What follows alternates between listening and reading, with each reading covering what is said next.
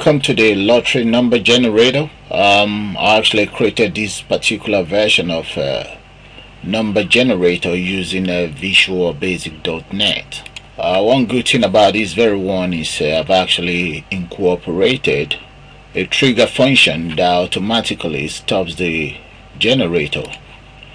Okay, so what I'll do next is to actually take you into the coding area and you will see how this particular program works.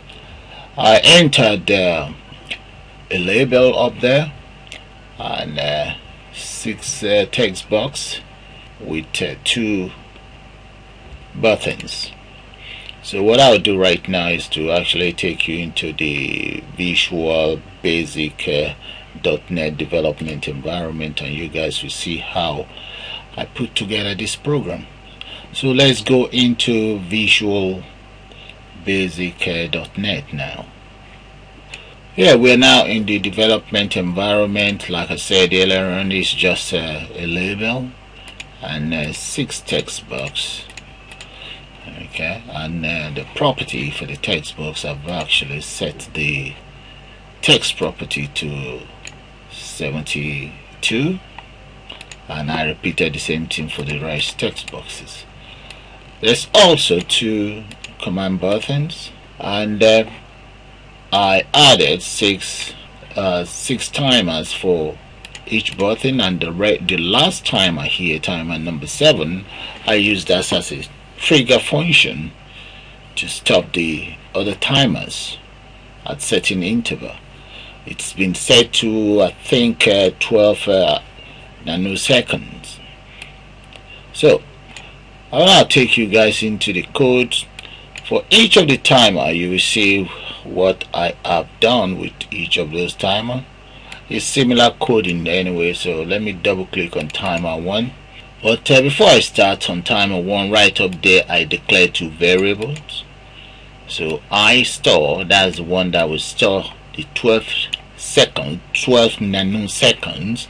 And um, I lottery that is to store my random numbers that is generated.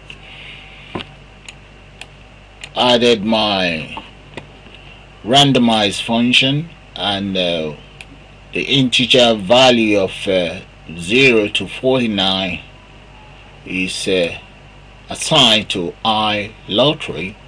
And then uh, i lottery then assign whatever value is generated uh, into text box 1 so what I've done in here is just in case if text box 1 becomes 0 1 should be added to text box 1 so that's just to prevent uh, number 0 from uh, entering the from showing up on the text box. So the next thing I did was uh, for the button which is this very button here the lottery number generator itself this very button right here.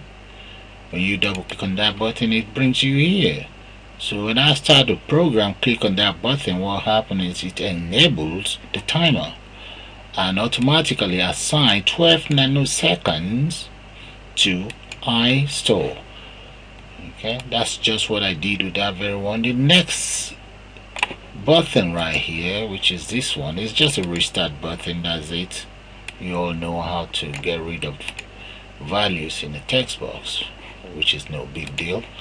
Now timer number two. Look at that timer number two. It's exactly the same codes with timer number one. That's timer number one right here and timer number two right there. The only difference is the value that is stored is in text box 2 and that's it right there. And the same process was just uh, repeated for the rest four timers. Timer number 3 timer 4 timer 5 timer 6 okay as for timer 7 what I did in there was subtract 1 from uh, iStore. So when iStore becomes zero automatically all of the timer enable property becomes false. And that's all there is to this uh, very program. That's how easy it is. You guys can do something very similar and uh, even improve on it I will copy this code right now and just uh, save it into my shared drive if you have any use for it. Just send me send me an email and I'll forward the code to you. And do please subscribe. And I'll see you guys later. So let's run the program one more time.